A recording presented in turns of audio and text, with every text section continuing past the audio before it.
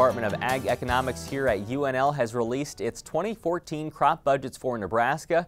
There are 66 different budgets. Under a certain situation, the estimated cost to produce a bushel of no-till corn with irrigation drops 6 cents this year to $3.98 per bushel. Soybeans under the same conditions increased 75 cents per bushel to $10.07. No-till wheat in a fallow system fell 61 cents to $5.25 a bushel. We talked with Roger Wilson about the numbers and input costs earlier this week and started by asking about how the continuing increase in land prices affected the budgets. The additions are, most of them are uh, alfalfa budgets uh, because uh, we have put a, a number of Roundup Ready alfalfa budgets in there. We generally don't just put new budgets in because we want to have more budgets, but uh, mm. there's usually a reason for it. And, and the Roundup Ready technology in alfalfa is, is new this year. And so we've got a number of budgets. There's a lot of establishment budgets and some also some production budgets. Uh, the way we go about doing these budgets is I work real closely with Bob Klein. Mm -hmm. uh, Bob Klein is the agronomist at the West Central Research and Extension Center. He's been around for a number of years and he basically gets most of the prices for me. He has some uh, people who he contacts, but the prices, uh, you know, we have to start working on this like in October. So in October, we're getting prices that we think are going to be working for 2014, and sometimes we're right and sometimes we're wrong.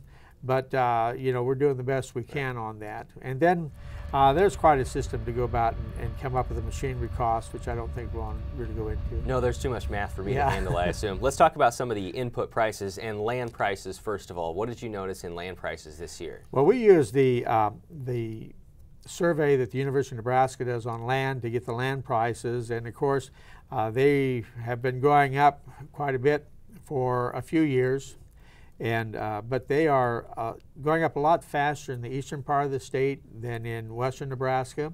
So the impact on, of land on, on budgets are more in the east than they are in the west. Nitrogen and glyphosate, how do those two uh, inputs affect what you expect to see as a final price? Well, nitrogen and glyphosate are, are uh, major inputs in particular corn. Uh, corn uses a lot of nitrogen.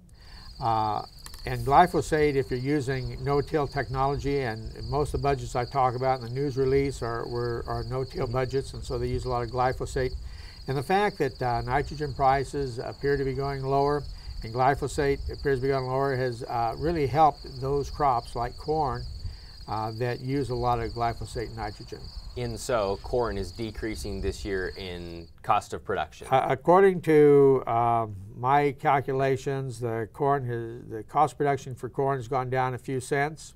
Uh, it's pretty pretty stable, but it has gone down a few cents. Uh, and since um, not as much nitrogen is used in uh, soybean production, uh, the effect of the soybean production has gone up. And uh, the effect on wheat production is we use the the, the no-till there, so it has also gone down. The cost of corn 398, uh, soybeans at 1007, and wheat at 525. And we were talking before, corn puts a pressure here with the current price that you could probably get on a cash basis at the elevator, while soybeans leave you a little upside yet if you sell at the right price. Well, that's the way it appears right now. Uh, certainly, the uh, the cost of production compared to the price is a lot closer for corn than it's been for a few years. Any surprises in here that you saw, whether it be in those input prices uh, or any major differences from last year? You know, we should talk about a couple of uh, changes to these budgets that uh, we've incorporated. The first one, uh, we're using a lower price for corn seed. in the past, we've always used the list price, and most farmers are getting a discount uh, by buying early. And so we basically incorporated that discount in there. So we've, that's been a little change that uh, in the way we've calculated, maybe not so much in what the farmers are experiencing.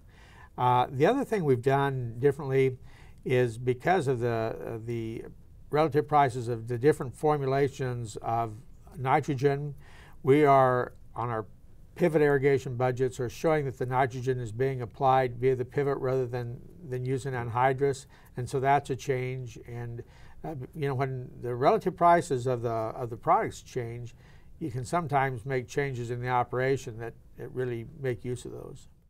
All 66 Nebraska crop budgets, including sugar beets, dry beans, and alfalfa, can be found on the CropWatch website.